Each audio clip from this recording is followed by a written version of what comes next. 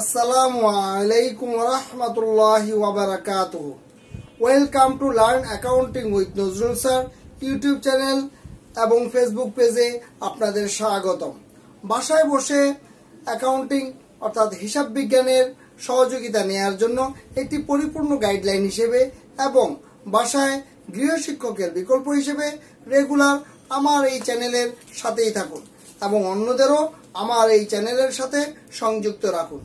আপনি যদি আমার এই চ্যানেলে নতুন হয়ে থাকেন, তাহলে প্লিজ আমার এই চ্যানেলটিকে সাবস্ক্রাইব করুন, পাশে থাকা বেল আইকনটিতে ক্লিক করে রাখুন, তাহলে নতুন নতুন অঙ্কের সমাধান সাথে সাথে পেয়ে যাবেন।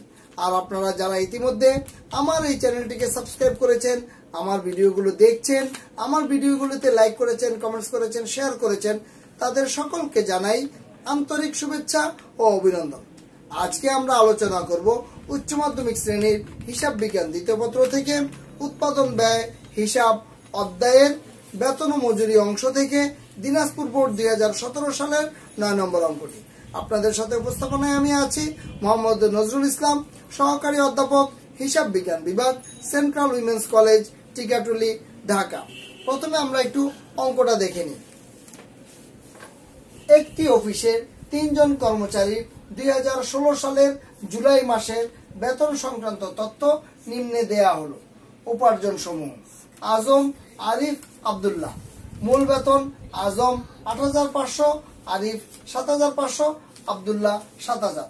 বাড়ি ভাড়া ভাব বাড়ি ভাড়া মূল বেতনের আজম পঞ্চাশ পার্সেন্ট, আরিফ চল্লিশ পার্সেন্ট, আবদুল্লাহ চল্লিশ পার্সেন্ট। চিকিৎসা ভাতা মূল বেতনের আজম পাঁচ পার্সেন্ট, আরিফ পাঁচ পার্সেন্ট, আবদুল্লাহ পাঁচ পার্সেন্ট। মহার্ঘ ভাতা মূল বেতনের আজম পঁচিশ পার্সেন্ট, আরিফ বিশ পার্সেন্ট আবদুল্লাহ পনেরো পার্সেন্ট বোনাস মূল বেতনের আজম বিশ পার্সেন্ট আরিফ বিশ পার্সেন্ট আবদুল্লাহ বিশ পার্সেন্ট কর্তন সমূহ প্রভিডেন্ট ফান্ড মূল বেতনের দশ পার্সেন্ট দশ পার্সেন্ট দশ পার্সেন্ট কল্যাণ তহবিল, একশো টাকা, পঁচাত্তর টাকা পঁচাত্তর টাকা। আয়কর মূল বেতনের দুই পার্সেন্ট দুই পার্সেন্ট দুই পার্সেন্ট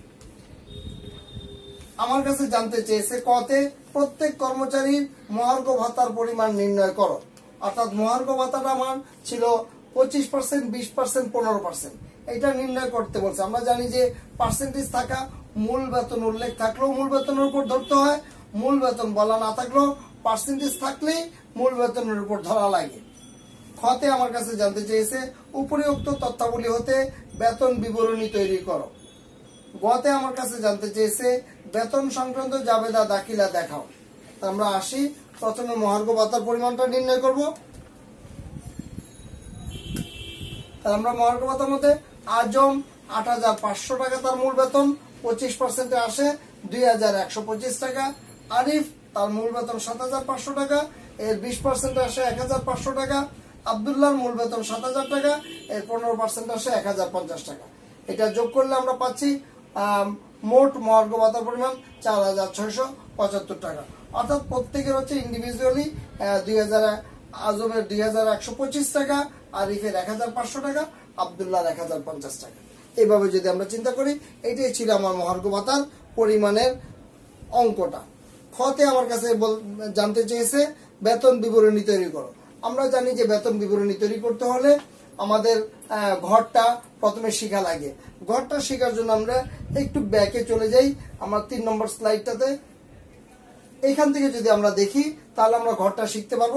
যদি এটা ভালো করে দেখা যাচ্ছে না, আমরা এটা আগে দেখি, পরে আমরা আস্তে ধীরে আমরা আলোচনায় আসব। বেতন বিবরণী তৈরি করার জন্য সর্বপ্রথম আমার যেটা লাগবে, আমার উপার্জন কয়টি, কর্তন কয়টি, এটা প্রশ্ন থেকে সিলেক্ট করে নেয়া। আমি প্রশ্ন থেকে বলে নিব যে আমার উপার্জনের মোট আইটেম কয়টি আছে এবং কর্তনের আইটেম কয়টি আছে। তা আমরা উপার্জনের আইটেম আমরা পাচ্ছি মূল বেতন একটি, বাড়ি ভাড়া একটি দুইটি, চিকিৎসা ভাতা একটি তিনটি, মহার্ঘ ভাতা একটি চারটি, বোনাস একটি পাঁচটি। এই পাঁচটি জিনিস হচ্ছে আমার উপার্জন। এটার সাথে আমার একটা গড় যোগ হবে, সেটা হচ্ছে মোট উপার্জন একটি ছয়টি। আর কর্তনের মধ্যে আছে প্রভিডেন্ট ফান্ড একটি কল্যাণ তহবিলে কর্তন একটি, দুইটি, আয়কর একটি, তিনটি।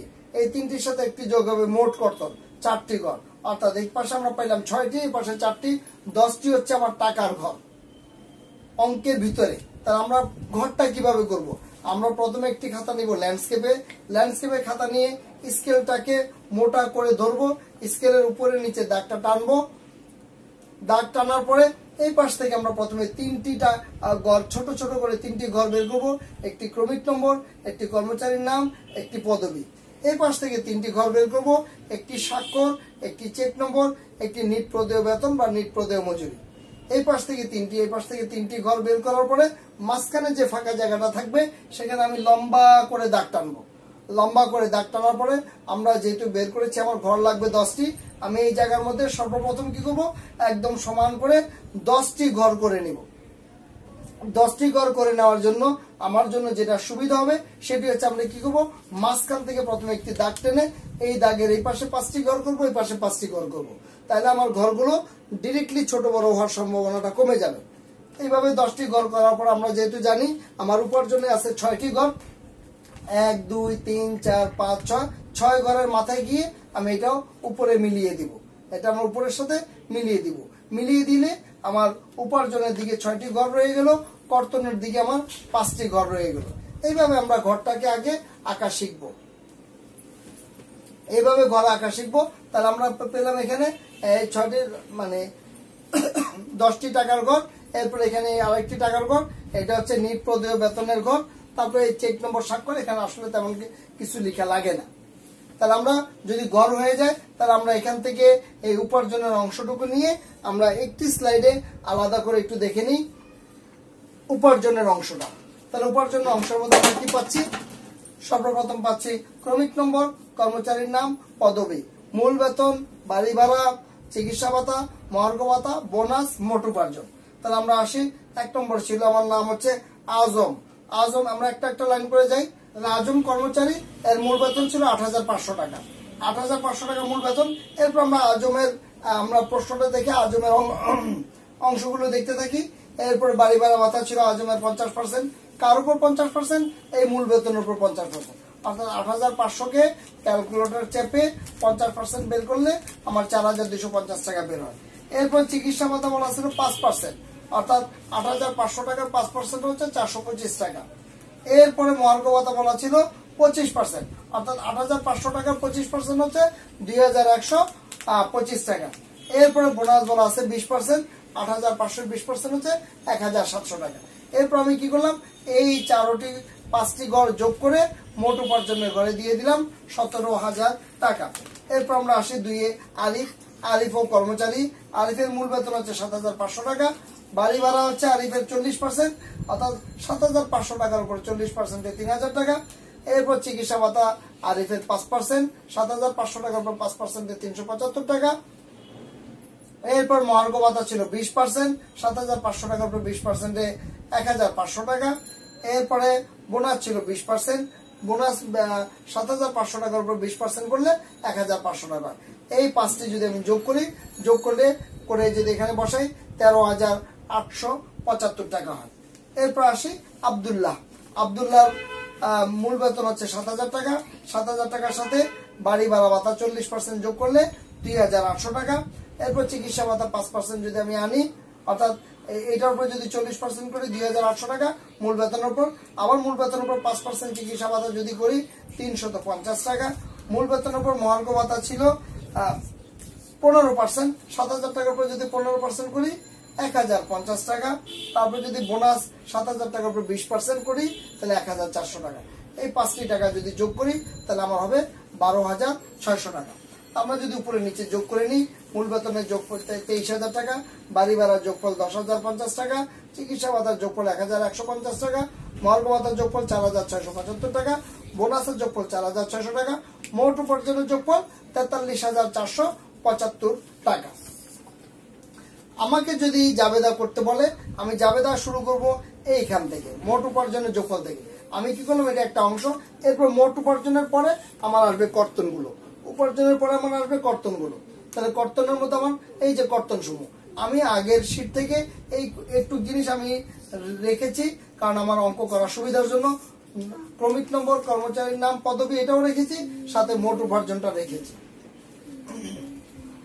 কর্তন মধ্যে আমরা পাচ্ছি, প্রভিডেন্ট ফান্ডের কর্তন, প্রভিডেন্ট ফান্ডের কর্তন বলা আছে সবারই দশ পার্সেন্ট তাহলে সতেরো হাজার টাকার উপরে সরি আজমের মোট উপার্জন ছিল আট হাজার পাঁচশো টাকা, তার উপর টেন পার্সেন্টে আটশো পঞ্চাশ টাকা আলিফের ছিল সাত হাজার পাঁচশো টাকা। আচ্ছা আমি একজন একজন করে আসি, আজমের প্রভিডেন্ট ফান্ডে কর্তন হচ্ছে আটশো পঞ্চাশ টাকা। এরপরে কল্যাণ তহবিলের কর্তন ছিল একশো টাকা, এরপরে আয়কর বলছে দুই পার্সেন্ট আট হাজার পাঁচশো টাকার উপরে দুই পার্সেন্ট করলে একশত সত্তর টাকা। এই তিনটিকে যদি যোগ করি, এক হাজার একশো বিশ টাকা আসবে মোট কর্তন। এরপর আমি এই মোট উপার্জন সতেরো হাজার টাকা থেকে এক হাজার একশো পঞ্চাশ টাকা যদি বিয়োগ করি, তাহলে আমার আসবে নিট প্রদেয় বেতন পনেরো হাজার আটশো আশি টাকা। এরপর আমরা আসি আরিফের। আরিফের মোট উপার্জন ছিল তেরো হাজার আটশো পঁচাত্তর টাকা আর মূল বেতন ছিল সাত হাজার পাঁচশো টাকা। প্রভিডেন্ট ফান্ডে কর্তন হচ্ছে সাত হাজার পাঁচশো টাকার উপর টেন পার্সেন্ট সাতশো পঞ্চাশ টাকা। কল্যাণ তহবিলে কর্তন হচ্ছে পঁচাত্তর টাকা বলে দেয়া আছে, আর আয় কর হচ্ছে দুই পার্সেন্ট সাত হাজার পাঁচশো টাকার উপর দুই পার্সেন্টে একশত পঞ্চাশ টাকা। তা আমি যদি এই তিনটিকে যোগ করি, তাহলে আসবে নয়শো পঁচাত্তর টাকা। আমি তেরো হাজার আটশো পঁচাত্তর থেকে নয়শো পঁচাত্তর বাদ দিলে বারো হাজার নয়শো টাকা হবে আমার নিট প্রদেয় বেতন। তিন নম্বর হচ্ছে আবদুল্লাহ কর্মচারী। এর মোট উপার্জন ছিল বারো হাজার ছয়শো টাকা। প্রভিডেন্ট ফান্ডে কর্তন আর মূল বেতন ছিল সাত হাজার টাকা। প্রভিডেন্ট ফান্ডে কর্তন হচ্ছে তার টেন পার্সেন্ট সাত হাজার টাকা টেন পার্সেন্ট হচ্ছে সাতশো টাকা। কল্যাণ তহবিলে কর্তন পঁচাত্তর টাকা বলে দেওয়া আছে, আয়কর হচ্ছে দুই পার্সেন্ট অর্থাৎ সাত হাজার টাকার দুই পার্সেন্ট একশত চল্লিশ টাকা। এই তিনটি যোগ করলে নয়শো পনেরো টাকা হয়। মোট উপার্জন বারো হাজার ছয়শো টাকা থেকে মোট কর্তন নয়শো পনেরো টাকা বাদ দিলে আমরা নিট প্রদেয় বেতন পেয়ে যাই এগারো হাজার ছয়শো পঁচিশ টাকা। এরপরে এগুলো আমরা উপরে নিচে যোগ করে দিই, এটা আমরা আগের পেজে যোগ করেছিলাম। এরপরে এটা যোগ করলে দুই হাজার তিনশো টাকা। প্রভিডেন্ট ফান্ডে কর্তন, কল্যাণ তহবিলে কর্তনের যোগফল দুশো পঞ্চাশ টাকা আয় করে যোগফল চারশো ষাট টাকা। মোট কর্তন হচ্ছে তিন হাজার দশ টাকা। নিট প্রদেয় বেতন হচ্ছে চল্লিশ হাজার চারশো পঁয়ষট্টি টাকা। আমাকে যদি জাবেদা করতে বলে, আমি এইটা দিয়ে একটি জাবেদা দিব। পরের জাবেদার মধ্যে আমার এই কর্তনগুলো আসবে, তারপরে জাবেদার মধ্যে আমার এই নিট প্রদেয় বেতন আসবে। এইভাবে আমরা জাবেদাগুলোকে শিখব। এখন আমরা দেখি, এই যে আমরা ভেঙে ভেঙে করলাম, এটার মূল চেহারা হচ্ছে আমার অঙ্কটা এইভাবে। এবং নিচে আমি প্রস্তুতকারক হিসাব রক্ষক ব্যবস্থাপক কেশিয়ার এইভাবে একটু দেখিয়ে দিব। এটা যদি না দেখাই, তাহলে শিক্ষক চাইলে আমার এক নাম্বার কেটে দিতে পারেন। যদি এটা একটা বিবরণী বিবরণী তৈরি করতে বললে আমরা নিচে এভাবে দিব। বিবরণী না চাইলে দেওয়ার দরকার নেই। আমরা অ্যাকচুয়ালি বিবরণীটা এভাবে করব। এই ছিল ক গতে বলেছে, বেতন সংক্রান্ত জাবেদা দাখিলা দেখাও। বেতন সংক্রান্ত জাবেদা দাখিলা দেখালে আমার প্রথমে আসবে মোট উপার্জনের টাকাটা, তারপরে আসবে কর্তনের এই তিনটি টাকা, এরপর আমার নির্প্রদেয় বেতনের টাকাটা আসবে। আমরা একটু দেখি আস্তে আস্তে। জাবেদার ঘর তো স্বাভাবিকভাবে জাবেদার ঘরে প্রথমে তারিখের ঘর, এরপরে হিসাবের নাম, তারপরে রেফারেন্স তারপরে ডেবিট টাকা, তারপরে ক্রেডিট টাকা। তাহলে আমাদের প্রথম যাবত হবে বেতন হিসাব ডেবিট প্রদেয় বেতন হিসাব ক্রেডিট এই যে যোগফলটা, অর্থাৎ তেতাল্লিশ হাজার চারশো পঁচাত্তর, তেতাল্লিশ হাজার চারশো পঁচাত্তর, অর্থাৎ মোট উপার্জনের ঘরে আমার যে যোগফলটা ছিল তেতাল্লিশ হাজার চারশো পঁচাত্তর টাকা। তাহলে এটা দিয়ে আমি প্রথম জাবেদা দিব, বেতন হিসাব ডেবিট প্রদেয় বেতন হিসাব ক্রেডিট তেতাল্লিশ হাজার চারশো পঁচাত্তর, তেতাল্লিশ হাজার চারশো পঁচাত্তর। দ্বিতীয়, অনুমোদিত বেতন হিসাবভুক্ত হলো। এরপর আমরা জাবেদার মধ্যে প্রথমে শুরু করব প্রদেয় বেতনটাকে ডেবিট করে। প্রদেয় বেতন হিসাবটাকে ডেবিট করব এবং কর্তনগুলোকে আমরা ক্রেডিট করব। তাহলে প্রদেয় বেতন হিসাব ডেবিট তেতাল্লিশ হাজার চারশো পঁচাত্তর। কর্তনের মধ্যে আসবে ভবিষ্যৎ তহবিল দুই হাজার তিনশো টাকা, কল্যাণ তহবিল দুইশো পঞ্চাশ টাকা আয়কর চারশো ষাট টাকা। প্রদেয় ভাউচার হিসাব ক্রেডিট অর্থাৎ নিট প্রদেয় বেতনের ঘরের যে টাকাটা আছে, সেই টাকাটা আমার এখানে আসবে, প্রদেয় ভাউচার নামে ক্রেডিট হয়ে যাবে। পরবর্তী জাবেদার মধ্যে এই প্রদেয় ভাউচারটা হয়ে যাবে ডেবিট নগদান হিসাব হবে ক্রেডিট নিট বেতন প্রদত্ত হলো চল্লিশ হাজার চারশো পঁয়ষট্টি, চল্লিশ হাজার চারশো পঁয়ষট্টি। এইভাবে আমরা তিনটি জাবেদা দিব বেতন বিবরণী থেকে। এই ছিল আমার আজকের অঙ্ক। এইভাবে আমরা সালের অঙ্কগুলোর সলিউশন কন্টিনিউয়াসলি আমরা ইউটিউবে দিব ইনশাল্লাহ পরবর্তীতে হিসাব বিজ্ঞান প্রথম পত্র এবং দ্বিতীয় পত্র থেকে দুইটি বই থেকে ধারাবাহিক আলোচনাও আমরা ইনশাল্লাহ ইউটিউবে দিব। আর হিসাব বিজ্ঞান অঙ্ক করলে হবে না, দেখলে হবে না, করতে হবে হাতে কলমে। হাতে কলমে না করলে হিসাব বিজ্ঞান শেখা যাবে না। আপনাদের যে কোনো মতামত, উপদেশ, পরামর্শ আমাদেরকে কমেন্টে লিখে জানান। ইউটিউব চ্যানেল এবং ফেসবুক পেজে আমাদের সাথেই থাকুন। যদি ভিডিওটি আপনাদের কাছে ভালো লেগে থাকে, সকলকে দেখার সুযোগ করে দিন, বেশি বেশি করে শেয়ার করুন। আর আপনি যদি এখন পর্যন্ত আমার এই চ্যানেলটিকে সাবস্ক্রাইব না করে থাকেন, তাহলে প্লিজ আমার এই চ্যানেলটিকে সাবস্ক্রাইব করুন, পাশে থাকা বেল আইকনটিতে ক্লিক করে রাখুন, তাহলে যখনই আমরা ইউটিউবে ভিডিও আপলোড দিব, আপনি সাথে সাথে নোটিফিকেশনে পেয়ে যাবেন। আশা করি ভালো থাকবেন, সুস্থ থাকবেন, আল্লাহ হাফিজ।